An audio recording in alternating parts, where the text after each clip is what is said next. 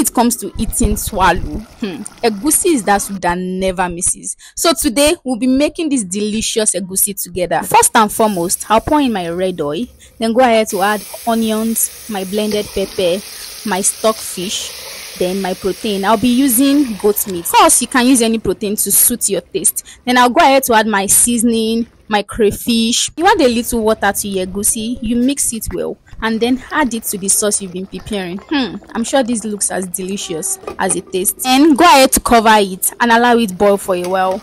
Then stir gently and add a little water. Make sure you taste your food to see if the seasoning is perfect. I'll be adding a little bit of seasoning to perfect my own taste. Then I go ahead to add my ugu and then stir it well. Now, sweet fingers lovers, you can see what this egusi looks like. Bear mine with a well-made amala. Trust me, this taste slaps.